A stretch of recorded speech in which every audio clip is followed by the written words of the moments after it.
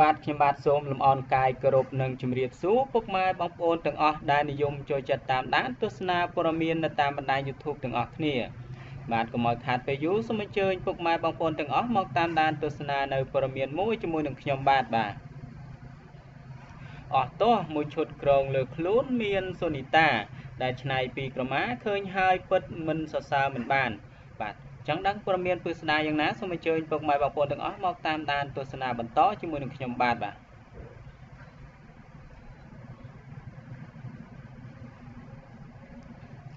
តារាសម្ដែងមានសម្រស់ស្រស់សុភានិងត្រូវបានមហាជនស្គាល់ថា ជារាជិនីក្រមាខ្មែរគឺកញ្ញាមានសូនីតាកំពុងតែបន្តភាពជោគជ័យរបស់ខ្លួនជាបន្តបន្ទាប់ក្នុងសិល្បៈ ព្រោះតែកញ្ញាទទួលបានការគ្រប់គ្រងកាន់តែច្រើនឡើងច្រើនឡើងនាពេលបច្ចុប្បន្ននេះ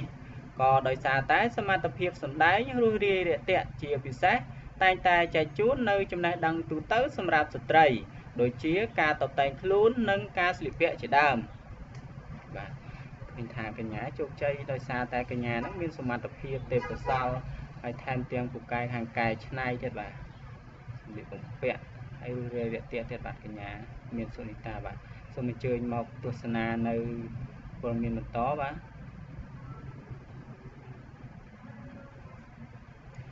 ដោយឡែកកាលពីម្សិលមិញនេះកញ្ញាមានសូនីតាបានធ្វើឲ្យគ្រប់គ្នាស្លុតចិត្តព្រោះតែកញ្ញាបានបង្ហាញនៅម៉ូដសម្លៀកបំពាក់ឆ្នៃពីក្រមា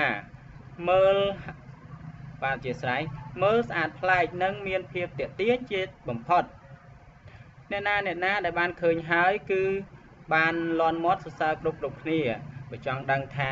សម្លៀកបំពាក់ដែលកញ្ញាទៅតែឆ្នៃថ្មីនោះមានភាពស្រស់ស្អាតយ៉ាងណាសូមអញ្ជើញពុកម៉ែបងប្អូនទាំងអស់មកតាមដានទស្សនានៅរូបភាពនិងវីដេអូខាងក្រោមជាមួយនឹងខ្ញុំបាទបាទបាទនេះគឺជាមួយឈុតក្រោយដែលកញ្ញាទៅតែឆ្នៃបាទនេះឃើញថាក្រមាសុតបាទមើលទៅពិតជាស្រស់ស្អាតមែនតើបាទនេះបាទ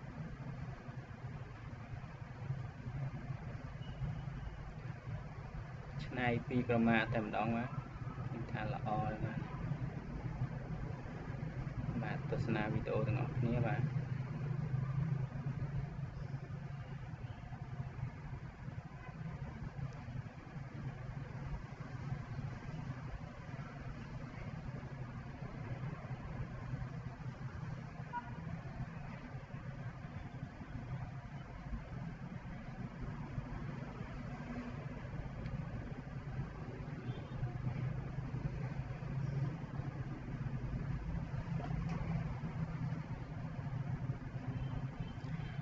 ឃើញ ថាពិតជាស្រស់ស្អាតមែនទែនបាទ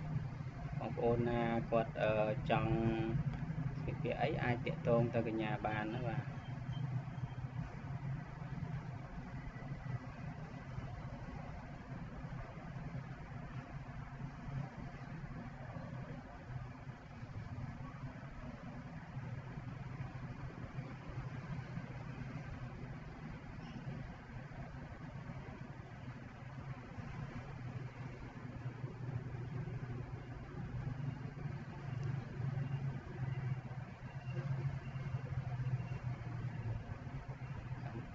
ស្សនារូបភាពបន្តបាទនេះ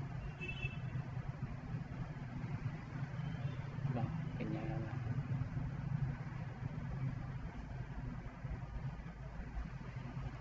មើលទៅការតបតែងខ្លួនរបស់កញ្ញាផ្លែកផ្លែកដែលបាទសរសើរមែនតើ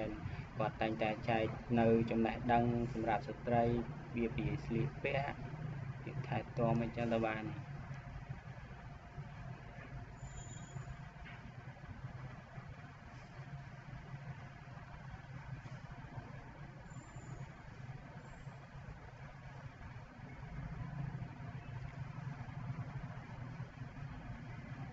ស្អាតស្អាតមែនតើឡើយ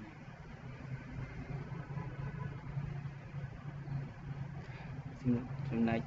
សម្លៀកបំពាក់ដែលកញ្ញាឆ្នៃសុទ្ធសឹងតែធ្វើពីក្រមាទាំងអស់តែម្ដងបាទ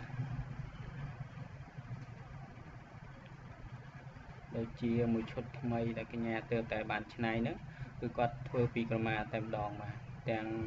សំពត់ទាំងអាវនៅខាងលើបាទ បាយអីគឺក្រមាមួយឈុតតែម្ដងបាទបាទសូសូមទៅទស្សនានៅឈុតថ្មីដងទៀតបាទនេះស្អាតស្អាតមែនតើបាទនិយាយជាមួយ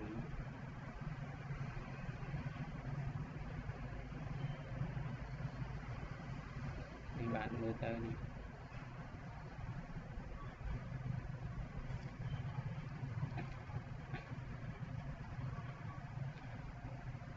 បាទជាចុងក្រោយនេះខ្ញុំបាទសូមខន្តីអភ័យទោសរាល់កំហុសខុសឆ្គងរបស់ខ្ញុំដោយអចេតនាពីសំណាក់ពុកម៉ែបងប្អូនទាំងអស់ដែលបានចូលមកទស្សនានៅវីដេអូខ្ញុំបាទហើយជាចុងក្រោយកុំភ្លេចជួយចុច Subscribe Channel ខ្ញុំបាទម្នាក់មួយផងបាទដើម្បីទទួលបានព័ត៌មានថ្មីៗប្រចាំថ្ងៃបាទសូមអរគុណសូមជម្រាបលាជួបគ្នានៅវីដេអូក្រោយៗទៀតបាទ